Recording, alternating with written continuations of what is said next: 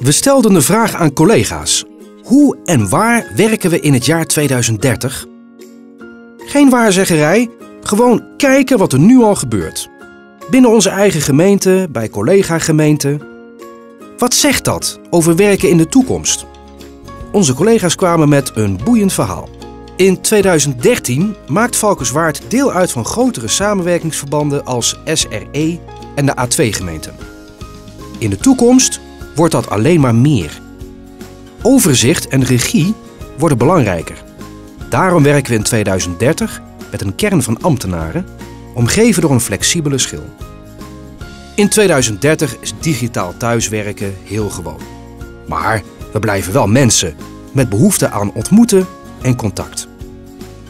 We zijn dan ook vaak in de wijk te vinden. In de kantine van de tennisvereniging, in een eetcafé of in de sociale supermarkt. Maakt niet uit. Zolang de wifi-verbinding maar supersnel is. Andersom is het gemeentehuis het huis van het dorp geworden. Met flexibele werk- en vergaderplekken voor bestuurders, collega's, inwoners en partners. Zo werken we in 2030 niet alleen volledig papierloos en digitaal, maar ook plaats- en tijd onafhankelijk.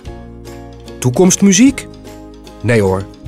Op verschillende plaatsen in Nederland zijn daar al voorbeelden van te vinden. En wat merken onze collega's daar? 1. Je leert je dorp of stad nog beter kennen en zij jou. 2. Doordat je flexibel werkt, praat je met collega's en bestuurders die je nu eigenlijk nooit ziet en je werkt met ze samen. 3. Het is goedkoper.